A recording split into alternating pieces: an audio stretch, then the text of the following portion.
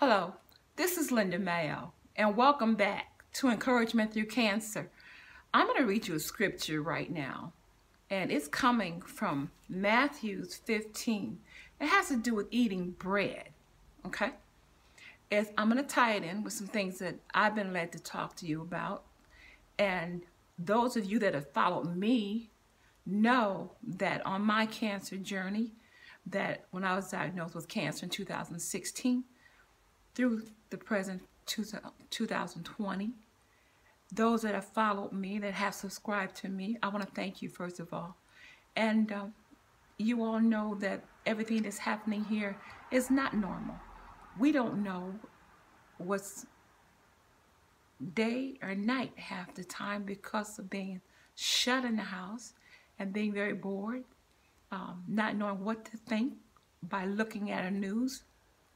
We don't have clear direction from leadership, from direct demands on what one state should do rather than the other one. But, you know, we do have faith in God. And that alone right there is where I want to lead you to right now as to talking to you about things that are happening that seem normal, but they're not normal. Now, you know, this scripture here, it again is talking about eating food. And Jesus answers. And this is his words, okay? And he said in verse 11, Matthew 15, verse 11, Not that which goeth into the mouth defileth a man, but that which cometh out of the mouth, this defileth a man. And in verse 17, 18, 19, and 20, this is still Jesus talking. Do not you not yet understand that whatsoever entereth in at the mouth goeth into the belly and is cast out into the draught? But those things which proceed out of the mouth cometh from the heart, and they defile the man. For out of the heart proceed evil thoughts, murders, adulteries, fornications, thefts, false witness, blasphemies. These are the things which defile a man, but to eat with unwashed hands defileth not a man. Now that was reference to eating food. And you're brought up like I was, you washed your hands before you cooked, you washed your hands before you ate, you said your blessings over your meal. Now we're washing our hands for other reasons, safety reasons. Something very tragic happened. And being on this channel on Encouragement Through Cancer was exactly that, to encourage. Because God delivered me at my age in my 60s to have gone through three breast cancer surgeries. And I'm still sitting here, still willing and eager. And I praise God and I thank Him that I will never lose my want to encourage, to edify, to uplift each other until I come God's commandments and one that I receive myself as accepting Him as my Lord and Savior, which is what I did. And I'm so thankful. And I know that I wouldn't be sitting here talking to you right now and encouraging you and all the rest of those that have gone through cancer, that is still going through. What's that have to do with this? Whole lot. Everything. God is our Redeemer, our Keeper, our Savior, our Refuge, our Rock. He is. And we're talking about eating bread. But if we're talking about something that's normal, then and it's supposed to be now, but it's not normal anymore. Okay. Am I sitting here in an indecent manner? Just getting in a shower or out of a shower? What am I doing?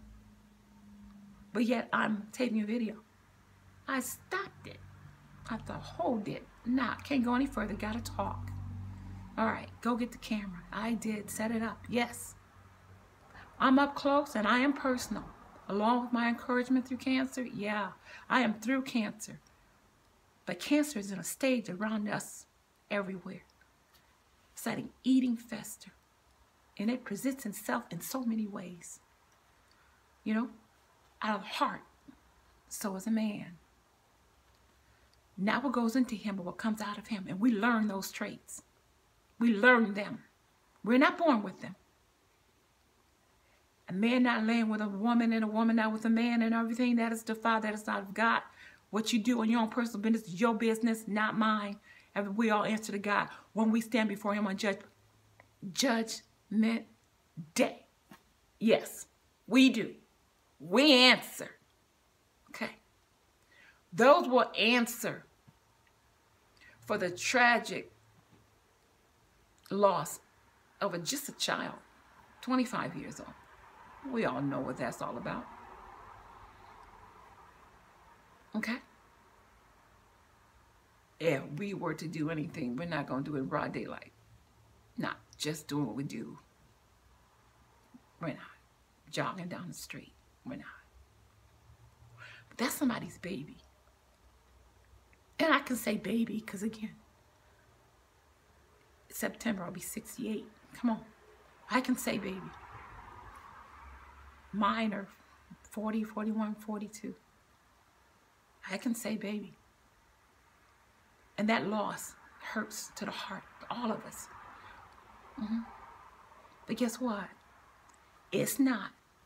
I can't look at those individuals when anything tragic take place. And I'm not ignorant. I have wisdom.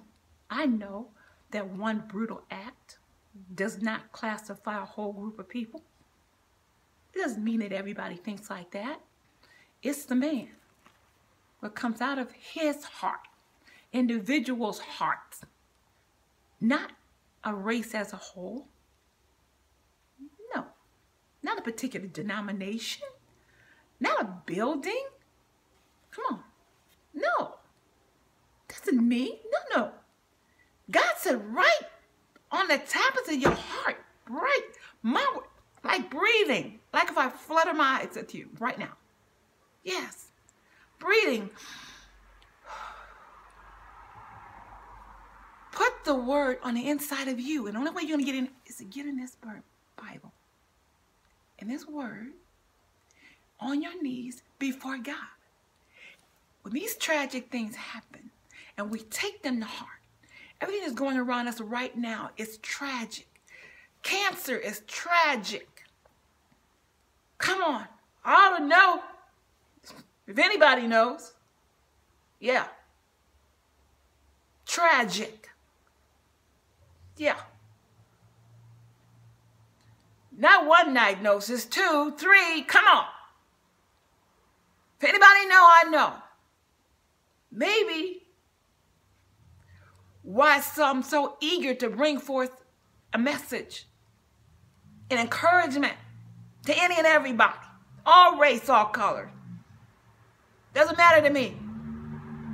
Because I've read this long enough to know that everybody isn't the same. That what one, two people do, or three people, or one person, is on them. It's how they were raised, how they were taught, how they were brought up. Not people as a whole, but in our society and has continued on since before when I was born and you know all the way up back when Jesus came through. Come on. There's marrying and interracial marriages all the time. Yes. But yet and still, you have society where we everybody can't get paid the same. Got to be based on, oh, don't wear your hair like that. You're going to get fired. Mm. It's got to be straight down your back. Uh, can't, can't be, go live on that side of town. No, no, no. But yet and still, what is happening right now? Yeah, God is speaking. He's speaking loud and clear. You've heard me say many, many times. The silver lining. And we are still puffed up we may not have to be in the church building, but we're still looking online to find who got the, oh, oh, that's just a great quote. Oh, did you see how they do? Ooh, they just, oh, let me flash that. Cross, mm, let me send that. Oh, did you hear what he, oh, whoa, ooh, fill my soul. Oh, yeah, yeah, yeah. But you're still the same thing. You're doing the same way, the same thinking, not making a difference on how you're doing and living your regular life. You're just going through the motions. Again, what comes and saying, confessing the exact same thing you was doing before. It's not what goes into a man that defiles him. It's what comes out of him. And if you are speaking and doing exact same thing, what good did it do? Why did God hang on that cross and die for us? Because we could do what? I don't know what color he is. Who gives a stink? He can be purple with white polka dots. I don't care. God is God all by himself. You are not going to look at me and say, oh, she can't, she, she don't care. Uh-uh, sure don't. But what I do care about is that we have sound mind thinking and know who it is that we serve and know who we are as, as individuals. And that the law is right for all of us. That we have the right to live in peace and safety in our own community, and also, if we are, happen to go outside our community, it's the same. We don't have to worry about what might happen to us from one second to the next. So a lot of things have to change, okay? In our prison system, the minorities and people of color overrun the prison system and get higher sentences. But yet and still, we make up the least of the population. Now, come on. What's wrong with that? How about guilty 40 years of life for running a red light? Come on. Okay, it may not be that. Running a red light, but oh, but possession, even though the ones that's selling it, that's not even down in the neighborhood, not getting, whoa, let's not even go to selling it. Let's go Wall Street. That's taking them a whole bunch of billions of dollars. Oh, excuse me. What you get? A smack on the hand and a little nothing and a good attorney to get you off. Wait, let's go higher. Ooh, good gracious, let's go up into the Washington, D.C. Up, Ooh, ha, mm. What they get? Up. Exonerated. He fine. He do nothing. Let him go.